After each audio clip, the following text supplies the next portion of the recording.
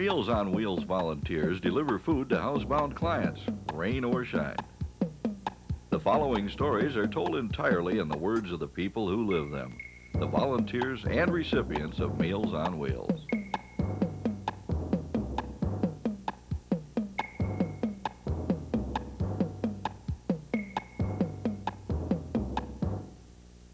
California, been, uh, which has been getting hit by torrential rains and high winds. Drive very carefully. Remember that you go around a curve and there could be a slide or a, a stalled car. Also, keep your lights on. Thanks uh, to the caller who uh, made that recommendation. Um, it is not a good day to be out and driving. It's a mess.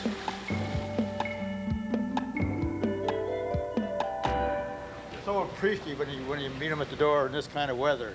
Well, they, they're always appreciative, but particularly in weather like this, uh, you know, if if they could get out, they wouldn't want to get out on a day like this for sure. And uh, we make it possible for them to care for themselves without relying on other institutions. Hi there, lady. It's been wonderful for me, really. Because after I lost my husband, I fell apart there for a year and I didn't do anything but ride out to the Garden of Memories. I didn't eat. I felt, I went down to 130 pounds. But now I'm real healthy. I only have to go to the doctor once every three months. Our program is visible. They're good stewards of the of the community's money too. Such a great share of our total budget is just buying food. When the trays come down the line, I make sure that the proper food is involved. Uh, a lot of clients can't have tomatoes, pasta, things like that. Because we do try to, we have dietitians that actually make up these meals and to make sure that they're correct for the client. And I think I'm entitled to it. I'm 81 years young.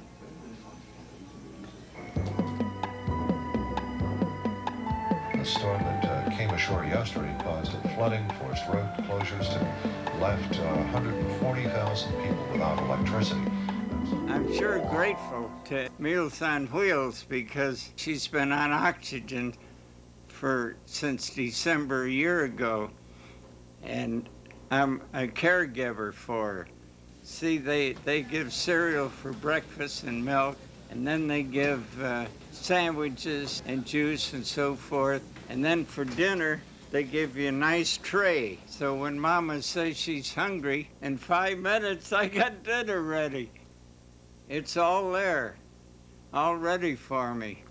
And the, uh, the volunteers that deliver, I look forward to them coming every day because they not only deliver, but they're friendly visitors.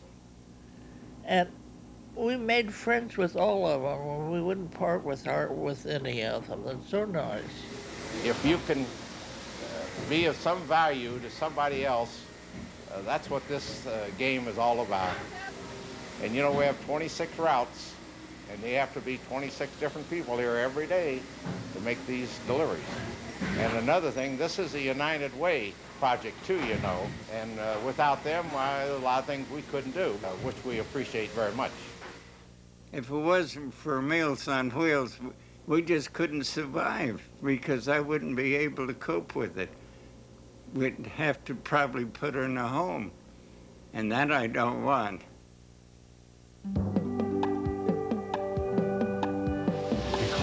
Rain, there is a lot of water running on the roads, and there is a real problem with hydroplaning. Uh, Oh, Meals on Wheels gives a nutritional meal every time. It's not merely a meal that's thrown together, it's picked by dietary people to fulfill their needs. And we fill in the other end of it. We deliver this meal and we fulfill the, the need, I'd say at least once a day, to have someone to say hi to. Hi, kid. Meals on Wheels. Oh, hi, uh, Butch. Gonna rain on us a little bit. Look at this. You, you, what are you doing? You're wearing your birthday dress there, ain't you? yes, I'm wearing. Give me my hug. Come on. You'd like, are you Irish? Oh, Irish Basque. Well, I'm Scotch Irish. But you know, there's a little, um, there's my, there's my little shamrock. That's, and my grandson. My other kids, you know, that I feel like uh, they don't remember I was ever in their life, and I kind of took their pictures off the wall. I don't have a car and I have a hard time getting around and I'm 68 and have multi-health and I'm too tired to go to the store, you know, and I'm too tired when I get home to cook it and if I get that far then I'm too tired to chew it. And uh, anyhow, it's been a blessing for me no family around. One Sunday we see about like 15 people.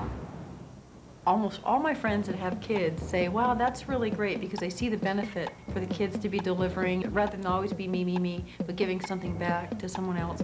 In fact, we've taken friends of theirs along, and if we can take a friend, they're so proud to show what they do. So you've been staying dry in all this rain we've been having, huh? Yeah, but I don't know tomorrow gonna start rain again. It's amazing that so many people can be positive that have so little or that are so sick and have something nice to say. And we have we have meals and wheels just just in time. For me, I'm diabetic. Not like it because no grease, no nothing. It's pretty good for me. That's why I feel more better. Salvador here, who's diabetic, he's getting the meals he needs in, in order to maintain his health. And he said it makes him feel better. That's, and that's the key.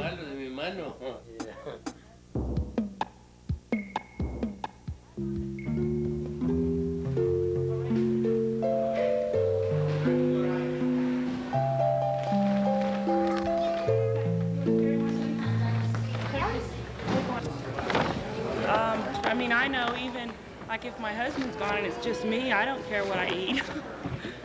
and I can imagine they feel the same way. You know, it's just harder cooking for one. You don't want to make anything. You just eat Pop-Tarts or something. A bag of popcorn. one day, one gentleman wasn't home and his door was open. And I was going to go to the office of the complex where he lived. And on the way, I saw him at the laundromat, and I was like so relieved. but it, it hit me then that it's it's more to me than just dropping the meals off. I I don't know. I get some kind of um, attachment to the people too. I know it's not going to get me to heaven. I mean, it's not like I'm doing it for gain. I do get a personal reward. I, I feel really good about it. And if there's something that I could do to give back to the community and give back to people, then I wanted to do it. It's real special.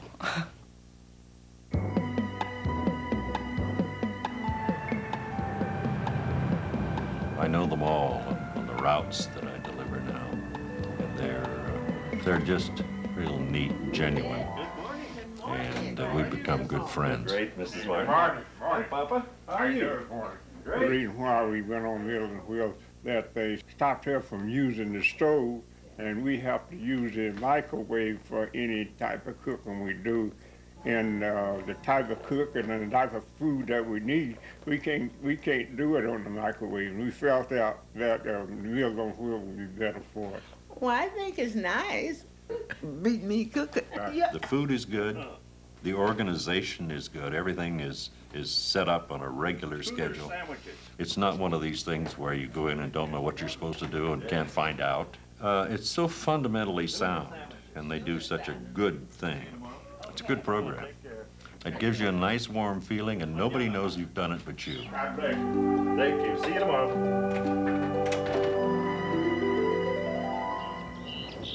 What we like about Meals on Wheels, well, honestly, I don't know how we would manage very well right now without them. But we found everything and everybody so wonderful. Even the lady from the county came by to introduce us to Meals on Wheels and tell us about it. We said, no, well, we can't do that. She said, you can't do that. Why can't you? You're entitled to it. And it's simply wonderful, and we thank God for it. And even a few days ago when we had all of this, the rain, nothing stopped the, you know, the people who would bring the dinners in. Meals on Wheels, Mr. Lyon. These people depend on someone coming in. Sometimes we're the only people they see. They're dependent on the food that you bring. Most of them have very little in their cupboards and very little in their refrigerators. So what you're bringing, they're really looking forward to. You've got to work very hard all your life before you can come to a place like this. It's incredible. You wouldn't believe that. But uh, I'm taking it with the best grace that I can. I'm making terrible mistakes. No. Well, you'd think I was giving them the world. And we don't think we're doing the most heroic thing in the world. It's just very, it's just like being a neighbor, a good neighbor.